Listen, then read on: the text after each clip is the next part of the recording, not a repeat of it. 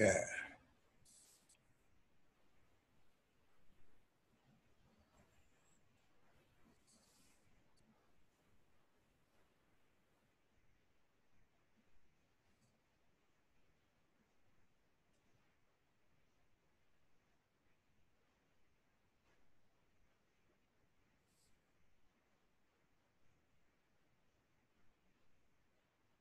Yes. Yes. Hello, welcome. Come, um, welcome. Uh, thank you for joining. Yes. You know, who are you? I'm Max Rempel. Good name. What do you wish? Um, it's a pleasure to meet you in uh, in that form. How is life out there? Yes, I'm I'm not a good uh, speaker sometimes, but we'll make an exception. How is uh, so? You were pretty spiritual in your life, but when you came out in the spiritual world, what did you discover? How how much different it was? The spiritual work is part of everything that exists. So, not to be spiritual is not to exist. So, I feel that my spiritual work was a way of existence above that which was normally called average. So I would bring the spirit out in a way that can be used and not uh, not looked at as something uh, not not part of everything. My question was more about uh, insight into the spirit world. How is the spirit world out there? I'm still Ah, here. where I am now, Yes. spirit world is amazing. Um, you cannot imagine the unlimited information, the unlimited uh, things that are, are available. Hmm, What are you, what are you engaged in now? What are your um, occupations? I have no occupations, but I am learning many things. I am now very interested in uh, the quantum areas of the universe and mechanics of this quantum part. And I see that uh, the energies are actually very similar to spiritual energies in some way they transcend one another to become different as they move through the dimensions. Ah, right. Um, so you you were very advanced spiritually in your life. Um, was it because of some angelic influences or about some extraterrestrial influences? Why were you were that talented? Well, it was God given talent, but there were extraordinary circumstances in my youth and young adults that made me open my eyes to things differently. Also, I have a spiritual connection because the earth to me is not uh, without every part of the earth is not without spirit. And so therefore you gain understanding of the spirit as you move forth. There were many things that happened with me that i could not explain in physical terms or in thought process that would translate into uh, logic. So therefore, it must be spiritual. hmm So, were you an advanced extraterrestrial? I cannot tell you that I was extraterrestrial because I do not think I really was. At that time in existence, no one cared about extraterrestrial except those people in a very strange headspace, which I try to deal with in a very normal way to bring them into a positive understanding of what they've experienced. And they were, yes, with extraterrestrials because the truth is the truth. But I tried to calm them into it to make them understand that this was part of the spiritual understanding of all things. So, why did you do so many miracles and healing? What was your power? Where from did it come? I could, it was intuitive in some respects. I had psychic energy that could read the person well enough to treat them for what they really needed. And many others could not see the true problem, and I could. What was your connection with uh, Sigmund Freud? Freud? I thought that many of his processes, well, true, while being true, he over expressed the sexual aspects a little too much uh, because he was more sexual, so his thought process made everyone more sexual. But there are those that are not, uh, would not fit into his diagnosis properly because he's overthinking that portion. Now, that to say that is also to say this.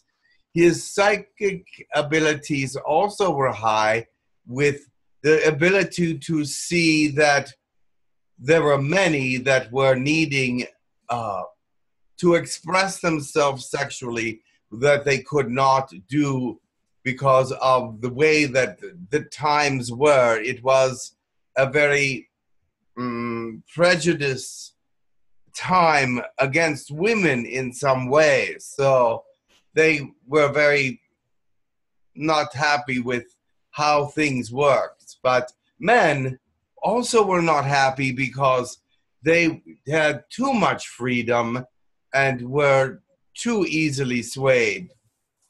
So it was a a dichotomy of the system of this the time period where women were cut off and men were too free. Um, my question is specifically were you spiritually connected? Why Freud and you were two spirits that made a, so much influence on the humanity ah, in terms of spirituality? What spiritually, was- we are we have similar energy which connects us. Yes, the energy of the mind, the way that people think, the energy of connection of thought process is something we do have. And I connect to his thought processes, the way he writes them and speaks them very well. Now, from your perspective now as a spirit, um, do you confirm reincarnation? I confirm. Is it that simplistic that one life ends and then the soul goes into another life, or is it more complex than that? It's more complex than that because you come to a place where you must review your life. You must look at the lessons that you missed or have gained. And this will tell you how your next life should be worked out and what lessons to include and to not include. Also, it tells you that um, you might want to spend some time in the afterlife working here for reasons. They might have something that they want you to learn, or you may just be free to learn uh, different things but right. then you decide to, together with, well, your soul is you, of course. I am my soul. Mm-hmm. We are, we, meaning I who have come from the soul and become a person, am no longer just a soul, but an, a, a corporal being. So therefore, we decide together how things should be and what should happen. And sometimes that takes a while in the oversoul or heaven or whatever you want to call it to decide. Mm-hmm. Is it really sequential that one life has, has to end and then uh, the experience of that life joins the soul and then that combined being decides on the next life? Is it how it goes? Yes. It is how it goes, but it's more complex than that. But it but it is still the same thought process. Is it many to many or one to one? Like one life ends or it has like many life ends and then it combine together multiple beings and then incarnate into multiple yes, lives? Multiple lives as you are one but you are many in the sense that you have had many existences and they are all with you and they all come with you everywhere you go uh, is it that the the latest in the sequence of lives dominates that personality when it incarnates, or is it all they all equal? Wish, not necessarily. It is determined that sometimes the weakest of the lives should go back. Sometimes ah. it's determined that there is a need for a stronger life to go back to work on these things and to uh, become something different than they were before. You see, there is a tendency to be similar in mm-hmm. all lives in some ways. Uh-huh. And so you try to get out of that similarities so that you may learn a greater amount. Wow. And, and so that is part of the determination. All right, suppose the weakest life, one of the weaker lives goes and incarnates. Does it have access to the experience of all other lives? It has that, it has access if it knows how to do so. If you know how to access past lives, then you can go to them all if you wish. But most people would prefer not to do that, but only to pick the lives that would be helpful in moving forward in this one. How is it determined um, which experiences are incorporated in a new incarnation? Like, is it like percentage? There is like 90% of that life and 90% of that oh, past yeah. life? Well, it is that you do not really determine that. You, you put up what it is that the main theme of the life will determine. Mm-hmm. Then you have the lessons along the ways that you might want to learn, but always, unfailingly, you will not learn everything and things will not be exactly as planned. Mm-hmm. You do not know what peers or stimulus that you will run into that cannot all be controlled. So, therefore, you have some room for change and some room for uh, different lessons. Nice. Um, now, is it that one soul always incarnates as one soul? Is it possible to have multiple souls incarnating in one person? How frequently that, that, does it happen? Well, yes. It can happen that way, that uh, a soul decides to divide. But it is unusual that it's permitted. But souls such as great men who have many things to offer may mm-hmm. divide themselves at some point, but they all must come back as together as one eventually. Uh, how about many to one? Like many people combining into one soul. Is it rare? Yes. I guess many souls into one incarnation is rare, right? Very rare. Mm-hmm. Now, is it does it have to be sequential? Can I incarnate first in the future and then in the past? Is it permitted? Well, that is an interesting question because you have to be aware of what your past, present, and future entail, entail as far as uh, lessons are concerned. So, therefore, yes, you can, because nows are interchangeable, if you understand me. Okay.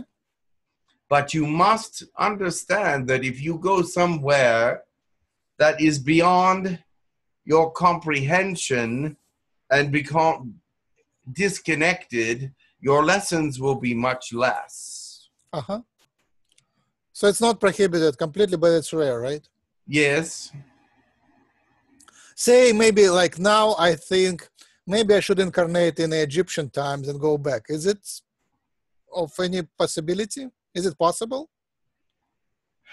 Yes, but you would be incarnated in someone that has lived that life already. And so you must look at the past and see which life you may want to relive with them or outside of them or in a different way than them that will not change the way that the future is molded. Ah, so it's not that easy. Okay. I thought it was much easier. I just kind of could jump in the past and play with it. If you choose a, a life that had no meaning and did not cause any change. I see. Are you incarnated at the moment? No, I am not. I see.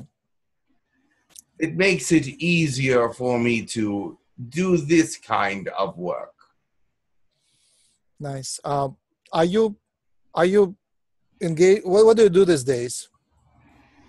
I am working on quantum mechanics and quantum physics. Got it. Got it. Nice. Thank you. Um, wh- can you invite the next speaker? Um, I, I I would like.